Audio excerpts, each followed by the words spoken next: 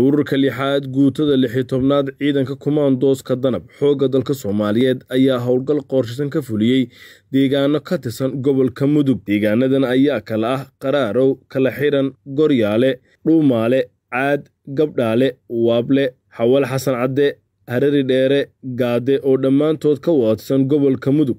Howlgalka ayaa intii uu socdo ciidanku waxay cagta mariyeen goobo ay gabaad ka dhiganayeen kooxaha nabadiidka naflacaariga maleeshiyaadka argagixisada al-shabaab oo ay ku jiraan godod ay ku gaban jireen. Argagixisada oo aan lahayn awood ay uga hortagto awoodda ciidanka kumaandooska danab xoogga dalka soomaaliyeed ayaa ku gabanayay gododkan oo ay islahaayeen. Waa kaga gaban kartaan awoodda ciidanka kumaandooska danab xoogga dalka soomaaliyeed balse taasi ma noqon mid joojisa oo waa laga saaray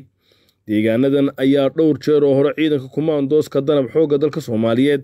waxay jab ku gaadhsiiyeen argagixisada iyadoo tanna ay qayb ka ahayd bacsiga haradiga nabadiidka naflacaariga maleeshiyaadka al-shabaab. Kooxahan dhigmiiratada ee argagixisada ayaa cagta saaray waddadii baaba iyagoo in muddo a caadaysanayay dhibaatooyin ay ka mid yihiin dhaca boobka kufsiga iyo jariimooyin kala duwan oo ay shacabka soomaaliyeed ku hayeen ciidanka kumaandooska danab xoogga dalka soomaaliyeed waa awoodda sida tooska uga hortagta jariimooyinka argagixisada iyo dibindaabyooyinka ay u maleegayaan shacabkan waxba galabsan. Shilaawo cabdilaahi cabdiraxmaan warbaahinta ciidamada qalabka sida ee soomaaliyeed gobolka mudug